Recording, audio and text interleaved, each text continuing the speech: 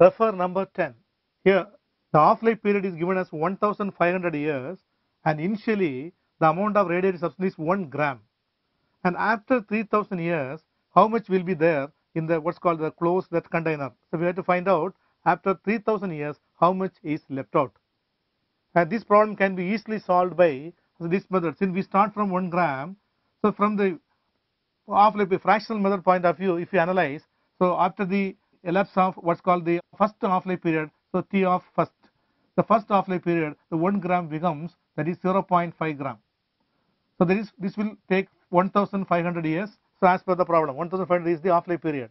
And now in the second stage, the 0.5 undergoes again 50% decay to give 0.25 gram. So that will take another, there is the second half-life period is there and one more 1500 years we have to add. So in total, so 1500 plus 1500, this comes 3000 years.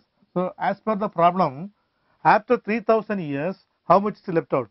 So 3000 years means two half-lives are covered and 1 gram becomes 0.25 gram. That is given by the option 0.25 gram.